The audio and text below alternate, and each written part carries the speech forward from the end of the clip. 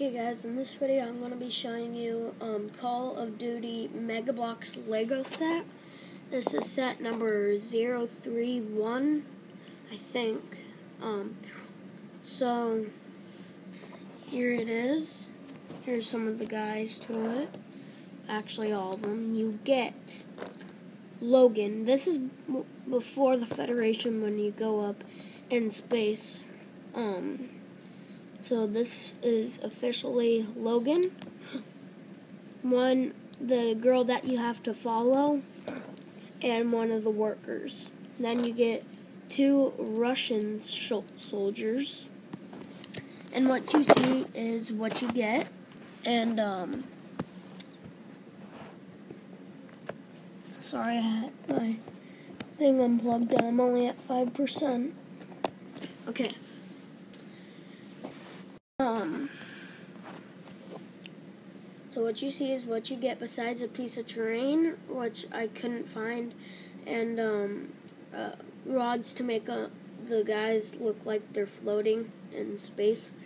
Um, but you get a pretty poor build. It's like really easy. I could take this apart right now and rebuild it for you guys, but that'd be too long of a video. Um, because I'm posting this and my um, computer says that it won't upload because it's too long of a video. So I'm trying to make this one really short. Um, but yeah, it's pretty cool build. Um, and pretty poor. It's like it's a hundred and something piece set, but the pieces for the satellite are like 10 pieces. See? Look at 10. And then the guys add the extra like 90.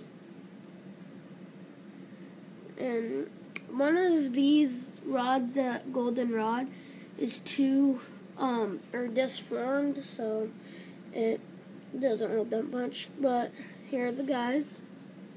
Logan, the girl that you got to go up, or the girl that controls you, or tells you what to do in the Federation before it starts. Um, worker, Russian soldier, and another Russian soldier. What's cool about this, I think these guys are the old, like, old Russia, or Germans. But